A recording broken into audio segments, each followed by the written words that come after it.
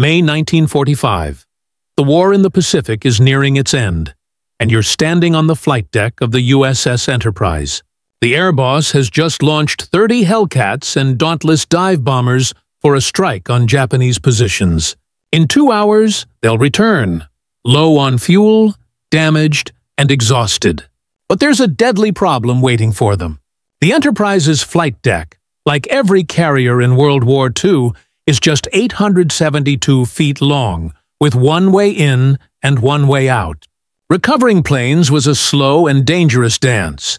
One aircraft lands every 90 seconds, hooks an arresting wire, taxis forward, and clears space for the next.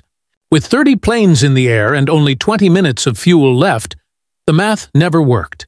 The last planes landed on fumes. One crash could halt the entire cycle while others circled above, burning away their remaining fuel and once every plane was back on deck, the ship turned into a floating bomb.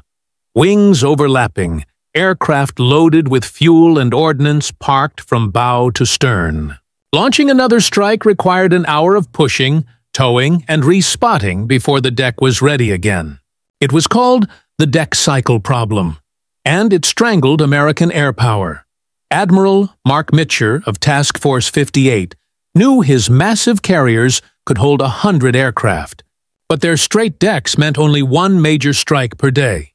The Japanese faced the same fate at Midway in 1942, when the Akagi, Kaga, and Soryu were caught with decks crammed full of aircraft and fuel.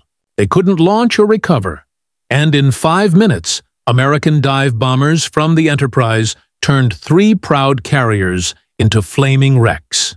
That disaster proved that the straight deck design unchanged since the 1920s, was more than inefficient, it was lethal. After Midway, both navies began tracking deck cycle efficiency, the time a carrier was useless between strikes. The results were grim. The Yorktown needed 93 minutes, the Saratoga 108, and Japan's Shokaku over two hours. Pilots died not from enemy fire, but from running out of fuel waiting to land. Commander Wade McClusky, the man who'd led the Midway attack, wrote that American carriers were built for one-punch fights, but trapped in a 15-round war. Whoever launched first would win, because the other side would still be busy clearing its deck. While American admirals struggled in the Pacific, British officers in the North Atlantic quietly searched for a fix.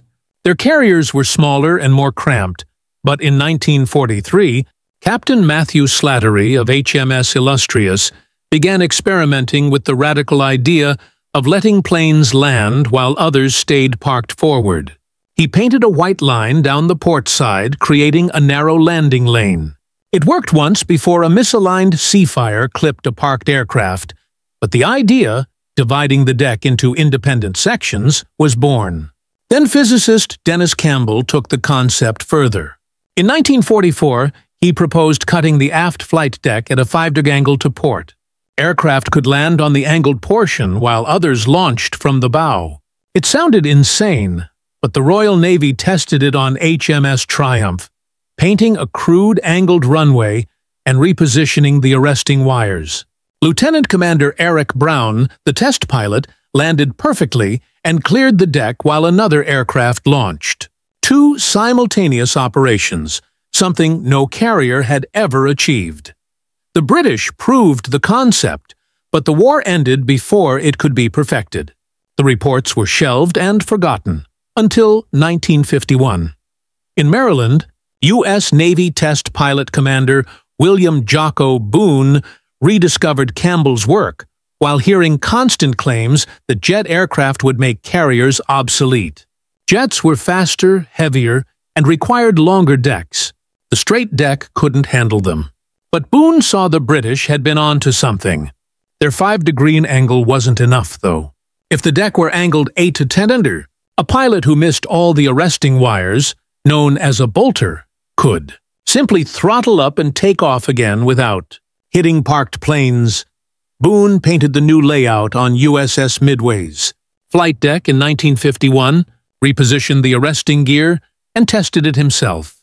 Flying an F-9F Panther at 145 knots, he landed on what looked like a turning deck, and it worked flawlessly. Then another jet launched from the bow. Recovery, launch, recovery, launch.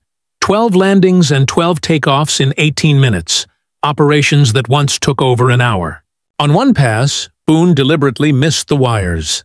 Instead of crashing, he climbed away safely. Watching from the island, Rear Admiral Apollo Soucek knew instantly. This wasn't just an improvement, it was the future of carrier aviation. By 1952, the Navy began converting its Essex-class carriers. It wasn't easy. Every system, from arresting gear to catapults, had been designed for a straight deck. The island superstructure had to move, the hydraulics rerouted, and steam catapults installed. USS Antietam became the first operational angled deck carrier. She deployed to Korea in 1953, and within weeks proved the concept in combat.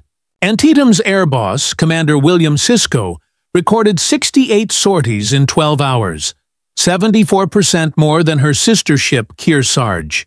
Deck availability jumped from 42% to 79% meaning pilots returning from combat could land almost any time instead of circling on empty tanks. The angled deck saved lives.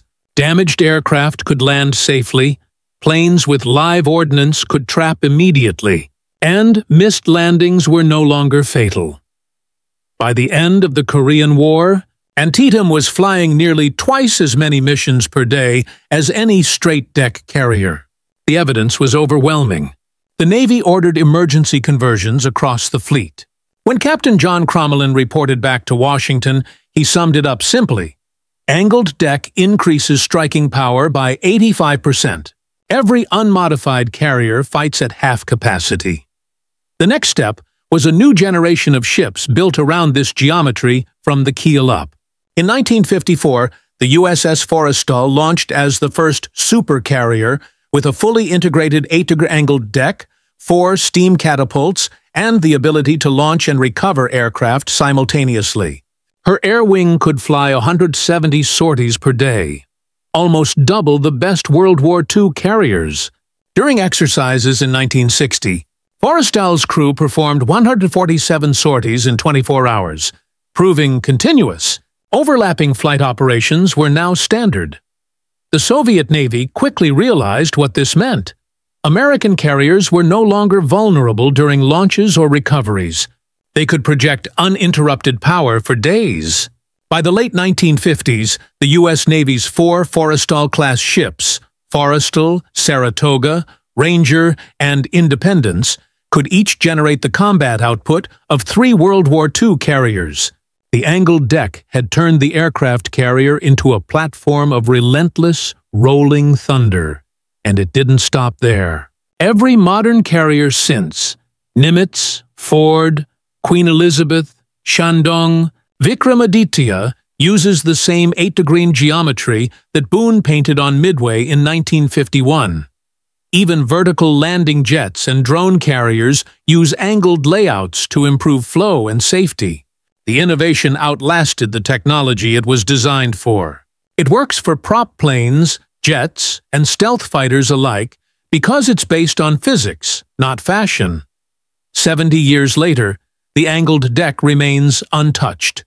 It doubled carrier striking power, eliminated the deadliest hazard in naval aviation, and made continuous air warfare possible. Commander Boone didn't set out to reshape naval history.